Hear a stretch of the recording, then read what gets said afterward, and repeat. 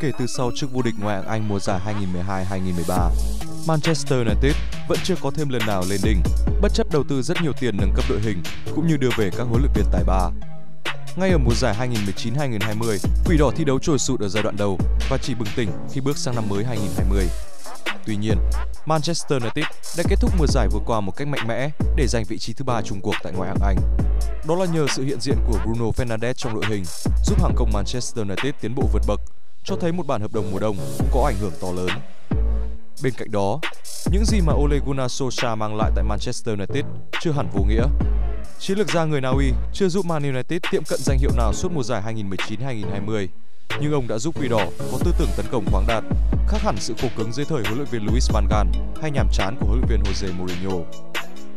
Cách tấn công giàu tốc độ, kỹ thuật của Manu dựa trên dàn cầu thủ trẻ của nhà chống được như Marcus Rashford hay Mason Greenwood.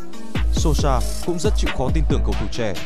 Đội hình Man United hiện tại chưa có sự cân bằng, nhưng nhiều tiềm năng phát triển khi đội ngũ này có thể chơi với nhau thêm ít nhất năm mùa giải. Đón về Donny van der Beek, Man United sẽ có thêm lựa chọn trong khâu tấn công. Chuỗi 19 trận bất bại cho thấy guồng máy của Sosa bắt đầu hoạt động nhịp nhàng trở lại. Vấn đề của Quỷ Đỏ giờ nằm ở khâu phòng ngự. Victor Lindelof thường xuyên mắc sai lầm, còn Harry Maguire lại đang vướng vào rắc rối ngoài sân cỏ. Ở hai biên, Man United cũng đầy nỗi lo khi lúc Shaw chưa phát huy hết khả năng, trong khi Brandon William lại còn quá trẻ. Lực lượng phòng ngự vừa yếu, vừa mỏng khiến đội bóng của Sosa phải lấy công bù thủ. Do đó, Man United có đủ khả năng để thăng hoa trong một giai đoạn nhất định, còn ổn định suốt 38 vòng để đua vô địch là cực kỳ khó.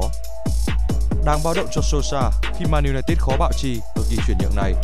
Quỷ đỏ chi tới 130 triệu bảng cho hai cầu thủ ở mùa hè trước, nhưng đang bế tắc trong việc cung tiền chi tiêu lúc này. Số lượng trung vệ, hậu vệ cánh giỏi cho Man United lựa chọn cũng không nhiều. Với lực lượng mỏng, Man United có thể đá những trận hay và cạnh tranh trong nhóm đầu, nhưng chắc chắn là sẽ không đủ nếu nghĩ ngày đến cuộc đua vô địch.